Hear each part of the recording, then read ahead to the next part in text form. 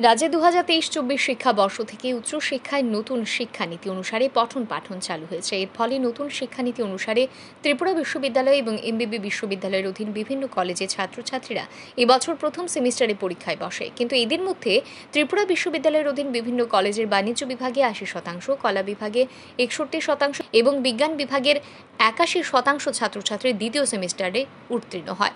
অপরদিকে এমবিবি বিশ্ববিদ্যালয়ের অধীন বিভিন্ন কলেজের প্রথম বর্ষের বিভিন্ন বিভাগের ছাত্রছাত্রীদের পাশের হার উনআশি দশমিক দুই পাঁচ শতাংশ। ফল প্রকাশের পর বিভিন্ন কলেজের অনুত্তীর্ণ ছাত্রছাত্রীরা পাশের দাবিতে কলেজ ক্যাম্পাস সহ বিভিন্ন স্থানে বিক্ষোভ প্রদর্শন করে।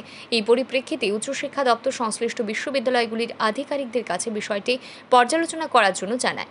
উচ্চশিক্ষা দপ্তরের অনুরোধ ক্রমে সংশ্লিষ্ট দুই বিশ্ববিদ্যালয়ের একাডেমিক কাউন্সিলের বৈঠকে সংশ্লিষ্ট ছাত্রছাত্রীদের দ্বিতীয় সেমিস্টারে উত্তীর্ণ করে দেওয়ার শর্ত সাপেক্ষ সিদ্ধান্ত গ্রহণ করা হয়। শর্তটি হলো, যেসব ছাত্রছাত্রীরা যেসব বিষয় কম নম্বর পেয়েছেন তাদের পঞ্চম এবং ষষ্ঠ সেমিস্টারে পঞ্চাশ শতাংশ ক্রেডিট মার্কস থাকতে হবে।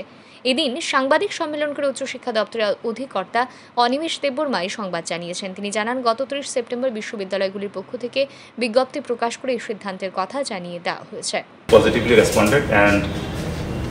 In their meeting of the academic council held on 28th September, they had come out with a very positive solution and by a notification on 30th September they had declared that all the students irrespective of their performance in the semester exams will be allowed to move to next semester up to the fifth semester irrespective of the performance including the students who fail to attend the examination because of illness and health reasons. However, from fifth to sixth semester, they would have to at least clear 50% of the credits in major subjects. So, that is the condition they have put.